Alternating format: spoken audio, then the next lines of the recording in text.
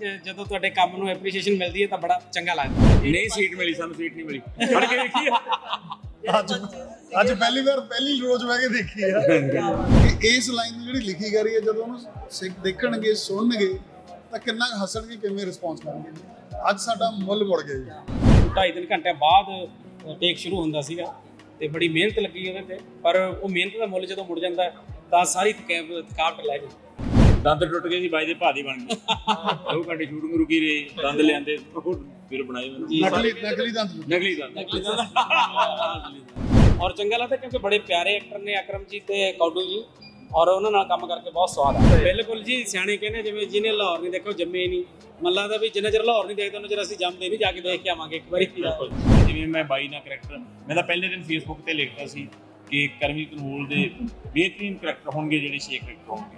ਉਹ ਵਾਕਈ ਹੋਏ ਔਰ ਸੱਚੀ ਕਮਾਲ ਦੀ ਜਿਹੜੀ ਮਿਹਨਤ ਹੈ ਜਿਹੜੀ ਸ਼ਿੱਦਤ ਨਾਲ ਕੀਤੀ ਸਿੱਧੀ ਨੀਤ ਨਾਲ ਕੀਤੀ ਉਹ ਰਾਤ ਜ਼ਰੂਰ ਆਉਂਦੀ ਹੈ। ਪਰ ਮੈਂ ਹੋਰ ਖੁਸ਼ੀ ਦੀ ਗੱਲ ਦੱਸਦਾ ਇਹ ਉਹ ਸ਼ਖਸ ਹੈ ਬਾਈ ਗॉड ਮੈਂ ਵੀਡੀਓ ਦੇ ਕੇ ਖੜਾ ਇਹ ਪੰਜ ਦੱਸਦੇ ਨੇ ਮੈਂ ਬੜੇ ਐਕਟਰ ਨੇ ਜਿਹੜੇ ਕਹਿੰਦੇ ਨੇ ਦੱਸੀਏ ਨਾ ਪਰ ਇਹ ਸ਼ਖਸ ਮੈਨੂੰ ਉਂਗਲ ਫੜ ਕੇ ਤੋੜਦਾ ਕਿ ਯਾਰ ਇੱਥੋਂ ਐਂ ਕਰਨਾ। ਰੀਅਲੀ ਮੈਂ ਬੋਲਦਾ।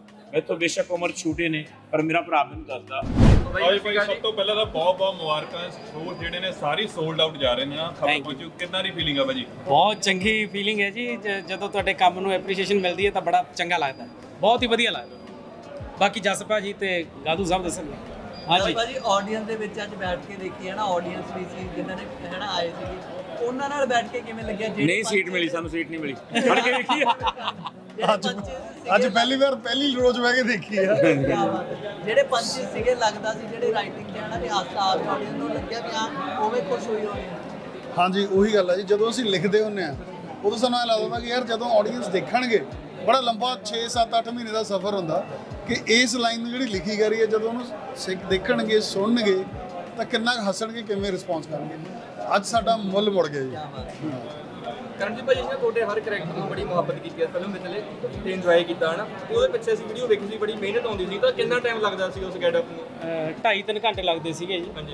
ਤੇ ਢਾਈ ਤਿੰਨ ਘੰਟੇ ਬਾਅਦ ਟੇਕ ਸ਼ੁਰੂ ਹੁੰਦਾ ਸੀਗਾ। ਤੇ ਬੜੀ ਮਿਹਨਤ ਲੱਗੀ ਉਹਦੇ ਤੇ। ਪਰ ਉਹ ਮਿਹਨਤ ਦਾ ਮੁੱਲ ਜਦੋਂ ਮੁੜ ਜਾਂਦਾ ਤਾਂ ਸਾਰੀ ਥਕਾ- ਥਕਾਵਟ ਲੈ ਜਾਂਦੀ।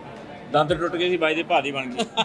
ਦੋ ਘੰਟੇ ਸ਼ੂਟਿੰਗ ਰੁਕੀ ਰਹੀ ਦੰਦ ਲਿਆਂਦੇ ਉਹ ਫਿਰ ਬਣਾਏ ਮੈਨੂੰ। ਨਕਲੀ ਨਕਲੀ ਦੰਦ ਟੁੱਟ ਨਕਲੀ ਦੰਦ। ਨਕਲੀ ਦੰਦ। ਨਕਲੀ ਦੰਦ। ਸਾਰੇ ਕਹਿੰਦੇ ਵੀ ਕਹਿੰਦੇ ਅੰਕਲ ਵਾਲਾ ਕੈਰੈਕਟਰ ਚੰਗਾ ਲੱਗਿਆ ਕੋਈ ਕਹਿੰਦੇ ਜੱਜ ਵਾਲਾ ਪਰ ਤੁਹਾਨੂੰ ਪਰਸਨਲੀ ਮੈਨੂੰ ਸਾਰੇ ਹੀ ਵਧੀਆ ਲੱਗੇ। ਕੋਈ ਇੱਕ ਕੈਰੈਕਟਰ ਸਾਰੇ ਹੀ ਵਧੀਆ ਲੱਗੇ। ਅੰਕਲ ਵਾਲਾ ਬਹੁਤ ਵਧੀਆ ਸੀਗਾ ਤੇ ਭੂਤ ਵਾਲਾ ਤੇ ਖਾਸ ਕਰਕੇ ਪੰਮੀ ਵਾਲਾ।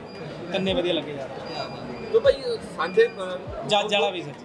ਸਾਰੇ ਹੋ ਗਏ ਕੋਈ ਵੀ ਨਹੀਂ। ਦੋਵੇਂ ਪੰਜਾਬ ਪੰਜਾਬਾਂ ਦੇ ਕਲਾਕਾਰ ਇੱਕ ਵਿੱਚ ਮਿਲ ਕੇ ਕੰਮ ਕਰਦੇ ਆ। ਉਹ ਕਿੱਦਾਂ ਦੀ ਫੀਲਿੰਗ ਬਹੁਤ ਚੰਗਾ ਲੱਗਦਾ ਜੀ। ਸਾਡਾ ਭਾਈਚਾਰਾ ਵੀ ਹੋਰ ਮਤਲਬ ਹੁਲਾਰਾ ਮਿਲਦਾ ਮਜ਼ਬੂਤ ਹੁੰਦਾ। ਔਰ ਚੰਗਾ ਲੱਗਦਾ ਕਿਉਂਕਿ ਬੜੇ ਪਿਆਰੇ ਐਕਟਰ ਨੇ ਅਕਰਮ ਜੀ ਤੇ ਕੌਡੂ ਜੀ। ਔਰ ਉਹਨਾਂ ਨਾਲ ਕੰਮ ਕਰਕੇ ਬਹੁਤ ਸਵਾਦ ਆ ਉਹਨਾਂ ਹਮੇਸ਼ਾ ਸਵਾਦ ਆ ਹੁਣ ਕੰਮ ਕਰਕੇ ਅੱਗੇ ਜਦੋਂ ਇੰਡੀਆ ਤੇ ਪਾਕਿਸਤਾਨ ਦਾ ਮੈਚ ਹੁੰਦਾ ਹੀ ਲੱਗਦਾ ਇੰਡੀਆ ਜਿੱਤ ਜੇ। ਸਹੀ ਗੱਲ ਹੁਣ ਐਤਕੀ ਲੱਗ ਰਿਹਾ ਜਿਹੜਾ ਮਰਜ਼ੀ ਜਿੱਤ ਜੇ ਕੋਈ ਚੱਕਰ ਬਹੁਤ ਵਧੀਆ ਪਾਸੇ ਆਪਣੇ।